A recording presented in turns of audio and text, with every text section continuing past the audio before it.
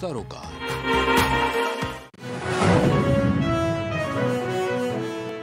गृह मंत्री अमित शाह आज करेंगे ग्रामीण सहकारी बैंकों के राष्ट्रीय सम्मेलन का उद्घाटन।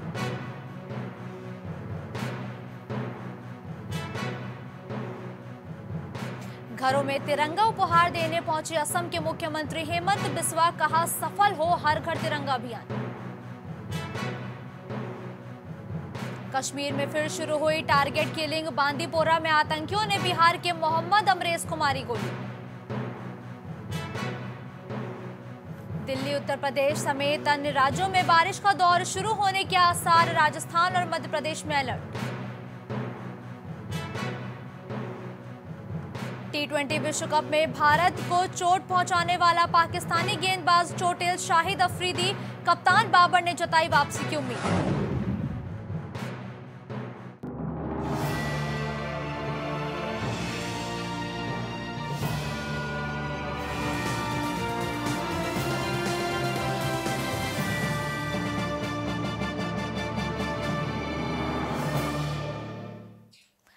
नमस्कार, मैं हूँ मुस्कान अजमानी और आप देख रहे हैं प्रदेश का विश्वसनीय चैनल प्राइम टीवी। चलिए रुक करते हैं उत्तर प्रदेश की कुछ बड़ी खबरों की ओर। अलीगढ़ में थाना बन्ना देवी क्षेत्र, मसूदाबाद रोडवेज़ बस स्टैंड में रक्षाबंधन त्योहार के चलते बहनों को अपने भाइयों को राखी बांधने के लिए घंटों तक रोडवेज़ बसों का इंतज़ार करना पड़ा। वहीं जानकारी के मुताबिक रक्षाबंधन पर्व पर प्रशासन की तरफ़ से सौगात में 30 रोडवेज़ बसें भी लगाई गई थीं, लेकिन भीड़ ज़्यादा होने की वजह से परेशानी का सामना लोगों को करना पड़ा। इसके साथ ही जिला कारागार में बंद भाइयों को भी बहनों ने राखी बांधी जिसके बाद से ही कारागार में बंद भाइयों के चेहरों पर खुशी देखने को मिली। थोड़ा जाने के लिए खड़ी हूँ मसूदाबाद वाली चौराहे पे खड़ी हूँ बस स्टैंड मथुरा जा रही हैं आप? क्यों जा रही हैं मतलब राखी बांधने के लिए।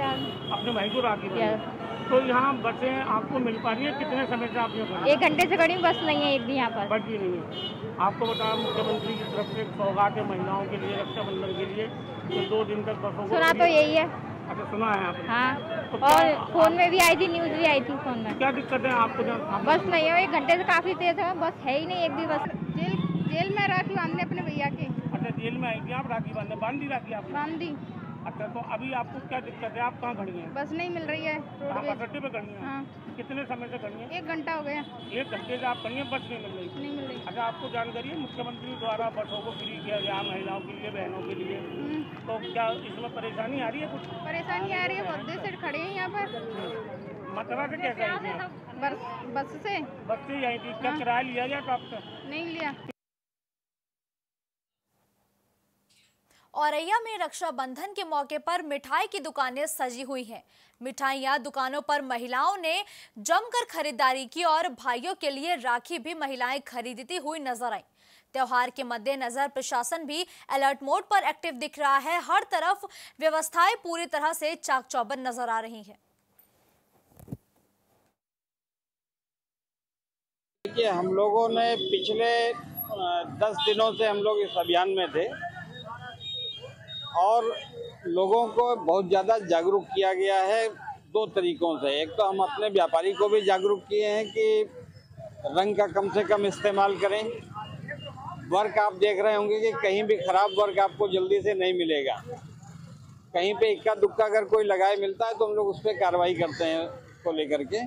तो मिठाई में शुचिता बनी रहे, इसकी हम लोग कोशिश लगातार कर रहे हैं। पिछले पूरे हफ़्ते से हम लोगों ने इसी को समर्पित किया है और छोटी छोटी जगहों पर हम लोग गए मिठाई मिठाइयाँ हमारे यहाँ खुद निर्मित की जा रही हैं। मिठाइयों में कम ही कलर डाला जा रहा है और शुद्ध खोए की मिठाई बनती है। कोई मिलावट वाला काम नहीं है और बिक्री रक्षाबंधन की अब की बार हल्की चल रही है दो दिन के त्यौहार के चक्कर में।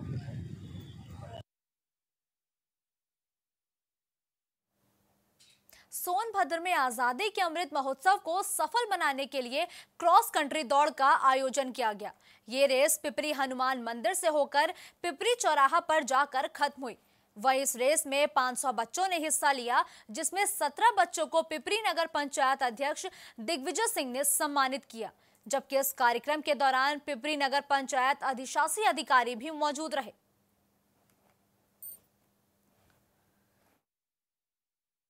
सैकड़ों के बच्चों की संख्या थी इस क्रॉस कंट्री दौड़ में जो आज़ादी के पचहत्तरवीं वर्षगांठ मनाई जा रही है उसको कुछ विशेष करने के लिए पिपरी के युवा बच्चों ने और हम सबने एक क्रॉस कंट्री रेस का आयोजन किया था। और ये दौड़ कहाँ से कहाँ तक शुरू हुई और कहाँ खत्म हुई? कार्यालय पिपरी नगर पंचायत कार्यालय से होते हुए साढ़े तीन किलोमीटर की दूरी लगभग पूरा चौराहा पिपरी चौराहा।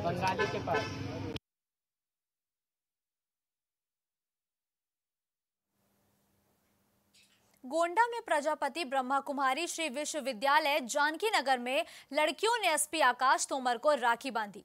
राखी बांधते हुए बेटियों को सुरक्षा का एहसास भी दिलाया गया। वहीं एसपी ने भी शांति एवं सुरक्षा व्यवस्था बनाए रखने का भरोसा दिलाया है।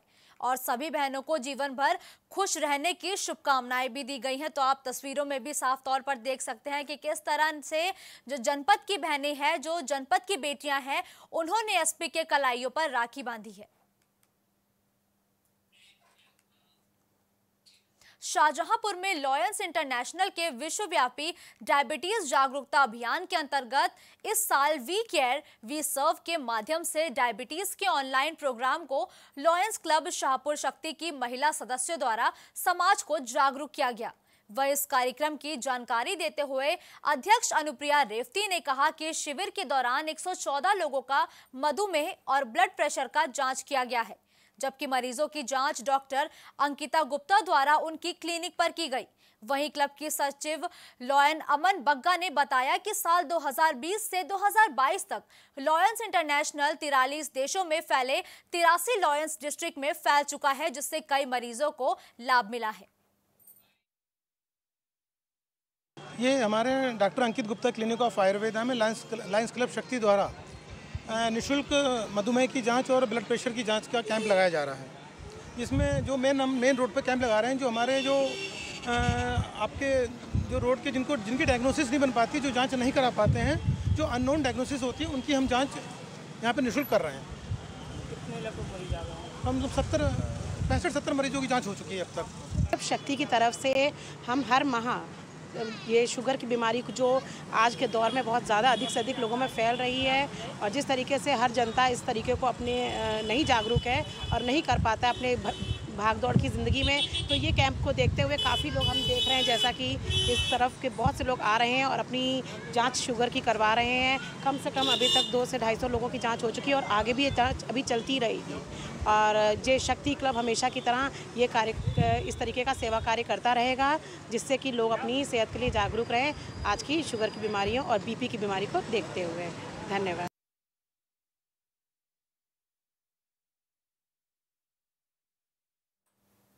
कानपुर में आज़ादी के अमृत महोत्सव के स्वतंत्रता सप्ताह के पहले दिन कमिश्नरेट पुलिस ने हाफ़ मैराथन दौड़ का आयोजन किया। पुलिस कमिश्नर ने हरी झंडी दिखाकर जवानों को रवाना किया।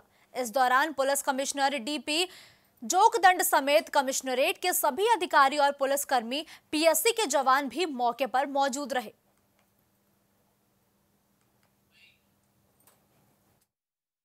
आज़ादी के अमृत महोत्सव को पुलिस महानिदेशक महोदय के निर्देशानुसार संपूर्ण पुलिस विभाग में विभिन्न कार्यक्रम आयोजित किए गए हैं।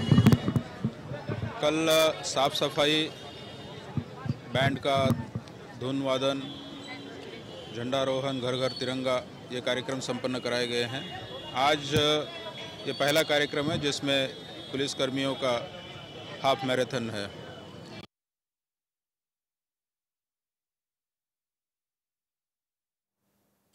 गोंडा में होम गार्डों और पीआरडी के जवानों ने आज़ादी का पचहत्तरवा वर्ष गांठ मनाया है। अमृत महोत्सव पर हर घर तिरंगा अभियान को ऐतिहासिक बनाने के लिए एक सभा का आयोजन किया गया।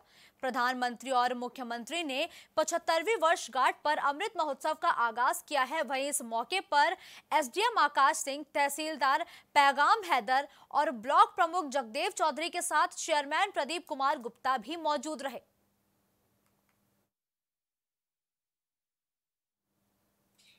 चंदौली में शाहबगंज विकास खंड के अर्जी कला प्राथमिक विद्यालय पर प्रिंसिपल और सहायक अध्यापक पिछले सात साल से नियुक्त है, लेकिन उनका आना जाना केवल महीने में एक दिन का होता है, जिससे गुस्साए ग्रामीणों ने खंड शिक्षा अधिकारी को बंधक बनाकर शिक्षकों को निलंबित करने की मांग उठाई है। तो आप तस्वीरों में साफ़ तौर पर देख सकते हैं, जहाँ एक तरफ़ सीएम योगी आदित्यनाथ द्वारा जब उनके दूसरे कार्यकाल की शुरुआत हुई थी तो ये कहा गया था कि वो महिलाओं की सुरक्षा और बच्चों की पढ़ाई को लेकर जागरूक रहेंगे, जिसके लिए कई तरह के अभियान भी शुरू किए गए, लेकिन चंदौली में उन सभी अभियानों का पलीता लग रहा है, क्योंकि वहाँ पर शिक्षा व्यवस्था पूरी तरह से चरमराई हुई है और कई महीनों से वहाँ पर स्कूल भी बंद पड़ा हुआ है। यह कि प्राथमिक विद्यालय अर्जी कला है। यहाँ दलित और बैकवर्ड के ज़्यादातर गरीब तबके के बच्चे इस विद्यालय में पढ़ते हैं। यहाँ चंद्रशेखर सिंह हेडमास्टर हैं। करीब इनकी सात साल नियुक्ति यहाँ हो गई। लेकिन कई वर्षों से यहाँ कभी तो एक महीना, दो महीना पर आ जाते थे। फिर कुछ दिन के बाद वो छब्बीस जनवरी और पंद्रह अगस्त अपना फिक्स किए थे। जी, यहाँ जो है, यहाँ का जो हेड मास्टर जो चंद्रशेखर सिंह है, विगत लगातार सात सालों से यहाँ तैनात हैं, जबकि वो पहले एक महीने में एक बार आते थे। लेकिन बाद में वो छः छः महीना पर आने लगे और लगातार विगत कई महीनों से बिल्कुल नहीं आ रहे हैं और रजिस्टर पर अपना आकर के सिग्नेचर करके वेतन ले रहे हैं। ये संज्ञान में कल लाया गया था, तत्काल खंड शिक्षा अधिकारी साहबगंज को मैंने मौके पे जाके उसकी जाँच पड़ताल के लिए भेजा। जब वो मौके पे गए थे, ग्रामीण वहाँ उपस्थित थे, उनके द्वारा बताया गया कि जो उपस्थिति पंजिका है, उसका निरीक्षण किया गया तो उनके द्वारा बताया गया कि 18 सात से वो शिक्षक अनुपस्थित चल रहा है। वैसे पी की खंड शिक्षा अधिकारी की आख्या भगा ली है और उनको दोनों शिक्षकों को मैंने तत्काल निलंबित कर दिया है। सोनभद्र में पुलिस अधीक्षक के निर्देशन में मादक पदार्थ के विरुद्ध एक अभियान चलाया गया। जिसके तहत एसओजी टीम और थाना चौपन पुलिस ने मुखबिर की सूचना पर कार सवार दो गांजा तस्करों को गिरफ़्तार किया है। पुलिस ने इस दौरान उनके कब्जे से बोरे में 45 किलो गांजा भी बरामद किया, जिसकी कीमत लगभग पाँच लाख रुपए की बताई जा रही है। सोनभद्र में यहाँ की पब्लिक के द्वारा एवं मीडिया के द्वारा लगातार शिकायतें की जा रही थी कि यहाँ पर अफीम का और गांजे का अवैध कारोबार काफ़ी मात्रा में फल फूल रहा है। इसी को लेकर अपनी पुलिस की टीम को एसओजी को सर्विलांस को, थाना को और जितने राजपत्रित अधिकारी हैं, सबको उच्च अधिकारियों के द्वारा भी मेरे द्वारा भी निर्देशित किया गया था कि ऐसे लोगों को पकड़ना है जो मादक पदार्थों की सप्लाई इस डिस्ट्रिक्ट में कर रहे हैं। तो उसी क्रम में लगातार चरस, गांजा, अफीम पर कार्रवाई हो रही है। आज इसी क्रम में 45 किलोग्राम गांजा पुलिस ने पकड़ा है। चौपन पुलिस ने चेकिंग के दौरान और एक एसयूवी गाड़ी भी पुलिस ने बरामद की है। इसमें दो लोगों की पुलिस ने गिरफ्तारी की है। दोनों लोग बलिया के रहने वाले हैं। गाजियाबाद के लोनी थाना में ट्रॉनिका सिटी क्षेत्र के मनीष पार्क इलाके में एक घर में बुज़ुर्ग का शव संदिग्ध परिस्थितियों में मिला है। जानकारी के मुताबिक शव कई दिन पुराना बताया जा रहा है और सड़ी गली हालत में मिला है। फ़िलहाल पुलिस ने शव को कब्जे में लेकर पोस्टमार्टम के लिए भेज दिया है। साथ ही आगे की मामले की जाँच पड़ताल में भी जुट गई है। मामला कुछ नहीं जी बंद कमरा था और किसी को जानकारी नहीं थी। आज बदबू आने लगा तो लोग को पता चला। इस संदर्भ में लोग देख क्या नाम था उनका? उनका नाम अखिलेश्वर प्रसाद था। अच्छा। और वो बिहार के जहानाबाद डिस्ट्रिक्ट के मुरगांव गाँव से बिलोंग करते थे। अच्छा। और यहाँ वो क्या अपने परिवार के साथ में रहते थे यहाँ परिवार के साथ नहीं रहते थे स्वयं अकेले ही रहते थे। अच्छा। पता नहीं कि इसका पता नहीं हमें जी। बंद था ये मतलब। कितने दिनों से? ये हो गया ये तो हम इतना ध्यान ही नहीं देते। अच्छा मृतक का नाम क्या है? इनका अखिलेश नाम है। अखिलेश नाम है। अच्छा कितनी उम्र होगी इनकी? इनकी होगी साढ़े बासठ के आसपास। अच्छा तो क्या हुआ ऐसा यहाँ पर? ये तो हमें भी नहीं पता ना कि हमने भी आज ही देखा जो बच्चों ने के दारे कि आज मरा हुआ है मरा हुआ है तो अच्छा तो क्या कंडीशन है उसके सबकी इस समय? बहुत बेकार कंडीशन है अच्छा।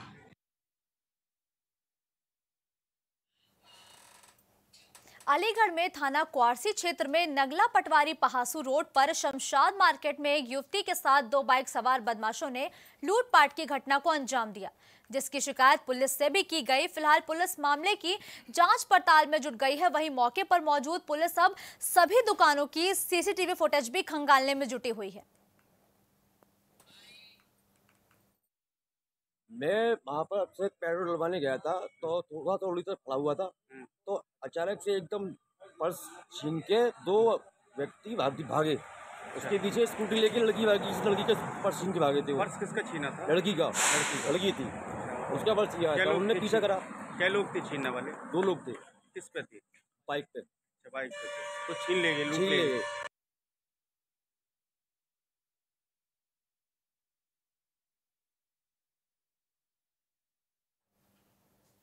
बदायूं में एक तेज रफ्तार ट्रक ने बाइक सवार को रौन दिया जिससे युवक की मौके पर ही मौत हो गई जिससे गुस्से में लोगों ने रोड जाम कर दिया। फ़िलहाल मौके पर पहुँची पुलिस ने जाम खुलवाकर शव को कब्जे में लेकर पोस्टमार्टम के लिए भेज दिया है। साथ ही मामले की जाँच पड़ताल में भी पुलिस पूरी तरह से जुट गई है। बदायूं से। हो किसी काम से गए हुए थे? हाँ राखी पहुँचाने गए। अच्छा ये एक्सीडेंट किस चीज़ से हुआ है? ट्रक से। ट्रक से। तो इस इसकी सूचना आपने थाने में दी यहाँ थाने का फोर्स मौजूद है। तो इसमें आपने तहरील दी है? तहरीर हाँ अभी लिख के दी है थाने भेजा है। थाने भेजा है। कौन से ग्राम के रहने वाले हैं? ग्राम खरकोली खोल ये को ठीक।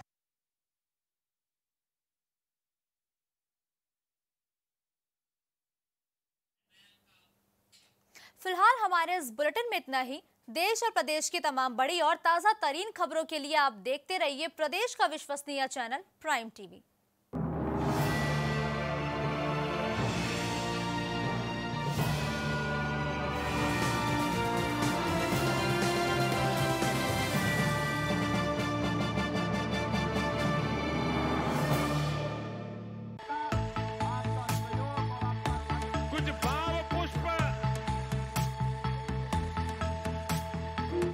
देख रहे हैं प्राइम टीवी।